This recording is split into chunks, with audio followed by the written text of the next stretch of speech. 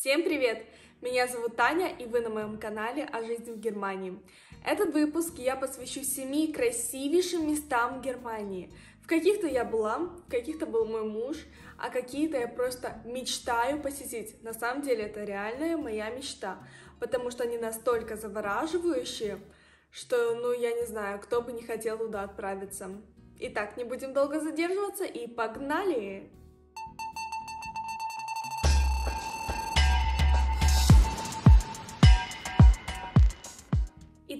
Первое в моем списке это озеро Сильвенштайн. Это искусственное озеро, оно находится в дельте реки Изар, расположено на юге Баварии. Кстати, находится оно на высоте 750 метрах в Альпах, недалеко от австрийской границы. Озеро окружено нереальным пейзажем, альпийские леса, горы. Я не знаю, что можно придумать лучше. Чистейшая, нереально красивейшая вода. Кстати, это длинный мост, который вы можете видеть сейчас на фотографиях. Он соединяет два берега. И даже если вы едете на машине по этому мосту, вы можете смотреть нереальные виды, делать нереальные фотографии. Чисто от себя это моя мечта. Я нереально хотела бы туда поехать. Следующий это подвесной мост Гейрлайн.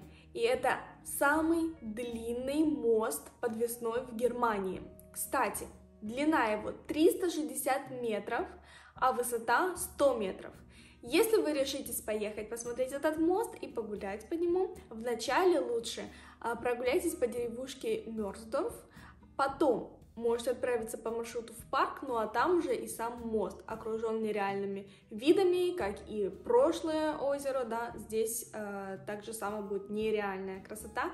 И в этом месте я не была, но был мой муж. И фотографии, которые он мне показывал, о боже, я сразу же захотела туда поехать. Но, к сожалению, ковид обломал все мои планы, потому что на данный момент мост закрыт. И если вы боитесь высоты, пожалуйста, можете быть спокойны. Он настолько прочный, что даже практически не расшатывается. А виды, ну, реально стоят того, чтобы его посетить. Кстати, вход бесплатный. Когда он откроется, я понятия не имею, и я мониторю каждый практически уикенд, э, открыт ли мост, потому что он недалеко находится от Франкфурта, а так как известно, что мы живем не так уж далеко от Франкфурта, это недалеко для нас. Остается только ждать, когда, в конце концов, он откроется. Поехали дальше. И на очереди у нас городок, который называется Рюдсхайм на Рейне. И это на самом деле старинный, очень красивый город, в котором осталось все от прежней Германии. На самом деле на фотографиях это столько завораживающе. Кстати, это еще а, винный, так сказать, город с какой-то винной историей. Там есть а, погреба и классные, как говорят, белые вина. На этой фотографии вы видите переулок Дроссельгассе, если я правильно это произнесла. Я не уверена, но ладно. Это переулочек, который завешен вывесками, ресторанчиками, погребами. Вы можете вкусно покушать, что-то выпить, прогуляться и ну, сделать, естественно, красивые фотографии. Также для самых романтичных персон вы можете э, посетить руины замка Эренфельс. А для тех, кому пешей прогулки мало, вы можете прокатиться на фуникулере, посмотреть нереальные красивые виды виноградников, кстати, на высоте 1400 метров. Поэтому пробуйте. Следующее место заняла отдельное место в моем сердце. Представляю вашему вниманию мост Баштай.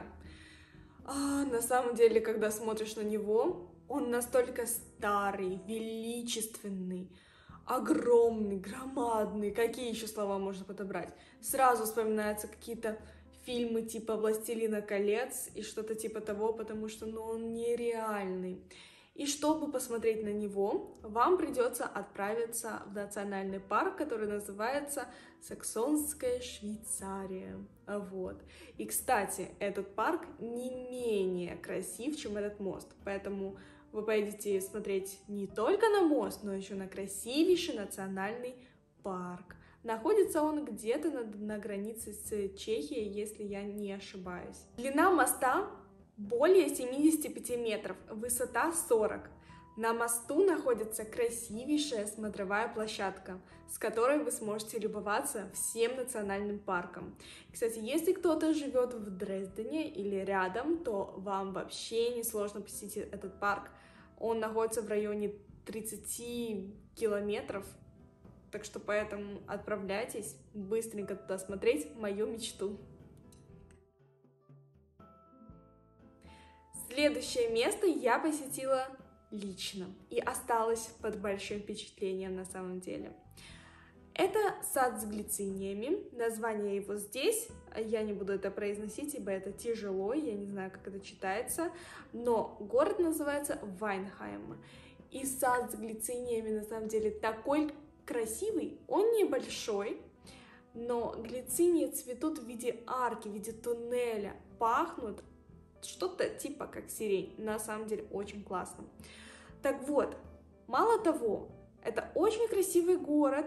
Я думала, мы поедем туда только, чтобы посмотреть глицинии, но от глицинии, если пойти вверх, а, там будет ратуша, а уже от ратуши старинный город, нетронутый, там вот именно э, вся старинная Германия, постройки, вот эти вот э, улочки, выпить можно разные виды пива, какие-то закуски взять, вино.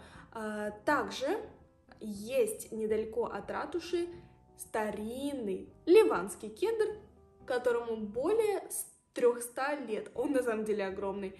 Он не настолько высокий, как э, широкий эти ветви громадные, огромные, а обнять его, я не знаю, сколько человек нужно, чтобы его обнять на самом деле. Очень классное дерево, стоит посмотреть на него. Также мы поднимались э, вверх, там была какая-то разрушенная крепость, и она из-за ковида тоже была закрыта, но когда ковида нет, э, надеюсь, это скоро закончится, вы сможете выпить там что-то, и какая-то кафешка вместе с прогулкой, а, я уверена, там будет открыто. Так вот, чтобы подняться туда, тоже это большого труда стоит. После этого было ощущение, что мы, на самом деле, столько прошли, и тренировку можно больше не делать, достаточно просто подняться, а потом спуститься. Кстати, город реально классный, и погулять там есть где. Так что отправляйтесь. Находится он где-то в 80 километров от Франкфурта. Для тех, кто живет в этом районе, это не так уж и далеко. Предпоследний в моем списке это Бёрдскаден, небольшой город, окруженный Баварскими Альпами. Также в городе сохранилась старинная архитектура. Туристы приезжают в этот город целый год, чтобы посмотреть на вершину Вайман и на озеро, кристально чистое озеро Кёнигзе. На самом деле, этот город а, можно посещать так как летом, чтобы а, смотреть нереальную зеленую, красивую природу, также и зимой, потому что вы сможете освоить зимние виды спорта. Ну а здесь вы можете посмотреть то самое озеро Кёнигзе. Находится оно на высоте 603 метра и окружено оно лесами, горами, с прекрасным видом, с чистейшей водой. И на самом деле это очень классное, красивейшее, невозможно. Ой, сколько я могу уже, уже описывать. Напоследок я оставила прекраснейший замок. Шверинский замок в городе Шверин. Это замок один из самых древних и прекраснейших в Германии. Находится он на озере, который соединяется вместе с городом двумя мостами, по которым, естественно, вы сможете пройтись и посмотреть, но разве это не самый красивый, ладно, один из самых красивейших замков в Германии, от нас он находится далеко, но посмотреть его было бы на самом деле я не знаю, исполнением одной из моей мечты. В наши дни в замке располагается лантак земли Мекленбург, но все равно оставлена огромнейшая часть замка под музеем, по которому вы сможете пройтись, посмотреть и полюбоваться этой нереальной красотой.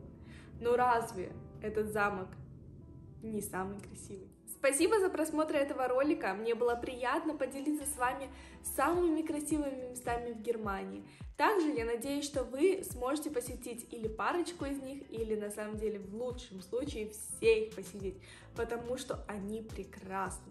Подписывайтесь на канал, ставьте лайки и пишите в комментариях, о чем снять следующие ролики. Вам желаю удачи. Пока-пока.